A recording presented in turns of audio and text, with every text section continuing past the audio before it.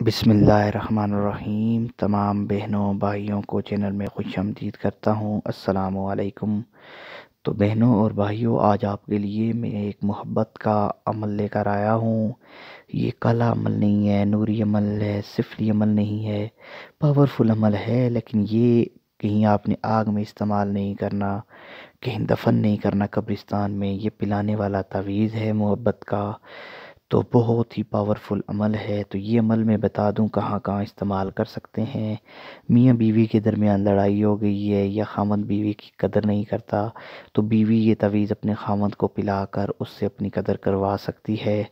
یہ اگر آپ کسی سے ناراض ہو گئی آپ کی محبوبہ آپ سے لفٹ نہیں کروا رہی، آپ سے ملتی ہے لیکن کسی اور کی طرف ہے، مائل ہوئی ہوئی ہے تو اس کو ختم کرنے کے لیے، اس کو اپنی طرف مائل کرنے کے لیے آپ یہ تویز لکھ کر اس کو پلائیں گے۔ تو عمل بتانے سے پہلے، طریقہ بتانے سے پہلے آپ نے ہمارے چینل کو سبسکرائب نہیں کیا تو سبسکرائب کریں۔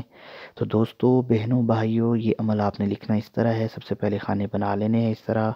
اور آپ نے سب سے پہلے خانہ نمبر ایک لکھنا ہے، پھر دو، پھر تین، پھر چار۔ اب اس میں پانچ نمبر نہیں، اس کی کثر ہے۔ پھر چھ، سات پھر اسی طرح آٹھ، نو اور دس، یہ لکھ لیا آپ نے۔ اس کے نیچے آپ نے لکھنا ہے الحب۔ پہلے اس کا نام جس سے آپ محبت کرتے ہیں، جس کے دل میں آپ اپنے لیے محبت، زیادہ محبت پیدا کرنا چاہتے ہیں، اس کا نام، اس کی والدہ کا نام، پھر اللہ ہو پھر اپنا نام، اپنی والدہ کا نام، بس یہ لکھنا ہے۔ اور یہ نقش، یہ تعویذ آپ نے اس کے بعد اپنے محبوب کو پلانا ہے۔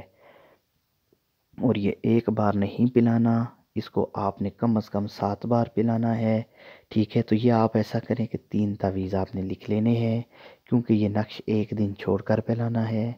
ٹھیک ہے، تین دن کو آپ چھ دن یا سات دن اس کو پلا سکتے ہیں، لیکن روزانہ نہیں پلانا۔ اگر آج پلاتے ہیں تو ایک دن چھوڑ کر اگلے دن پلانا ہے۔ ٹھیک ہے تو یہ بہت پاورفل عمل ہے، مجرب عمل ہے۔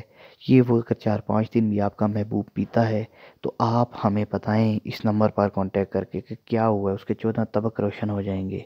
ایسا نقش ہے یہ، لیکن پلانے والا نقش ہے۔ تو جو بھی سوال ہو آپ کا، آپ ہم سے کر سکتے ہیں۔ کوئی بھی مسئلہ ہے، آپ ہم سے پوچھ سکتے ہیں۔